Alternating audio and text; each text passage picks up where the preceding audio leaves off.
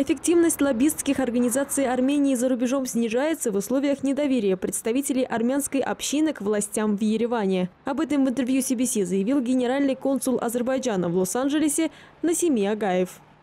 Her il noyabr ayında telemarafon geçirilir. Среди представителей армянской общины уже ощущается недоверие. Каждый год в Лос-Анджелесе проводится телемарафон, посредством которого собираются средства для Армении и сепаратистского режима, созданного в Нагорно-Карабахском регионе Азербайджана. За последние 10 лет средняя сумма набранных средств сократилась в три раза.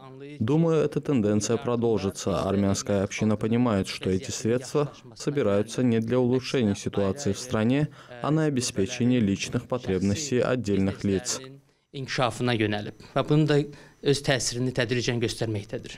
Коснувшись развития отношений между Азербайджаном и США, дипломат подчеркнул, что они имеют стратегическое значение и в настоящее время охватывают ряд сфер. Enerji təhlükəsizliyi məsələsi var. Yəni Azərbaycanın Avropa Для Соединенных Штатов Америки, в частности, очень важен вклад, который Азербайджан вносит в дело обеспечения энергетической безопасности Европы. Ведь это отвечает интересам Вашингтона, который поддерживает проекты с непосредственным участием Азербайджана. Баку также вносит свой вклад в международную борьбу с терроризмом. Азербайджанские военные вместе с американскими принимают участие в миссии НАТО в Афганистане и ведут совместную борьбу с терроризмом. terrorizmə qarşı birgə mübarizə aparırlar.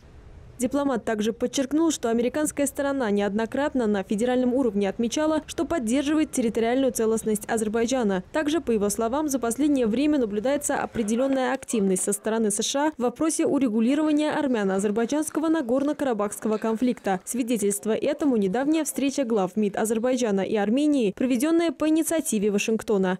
Медина Курбанова, Эсмира Алиева, Намик Гасанлы, CBC.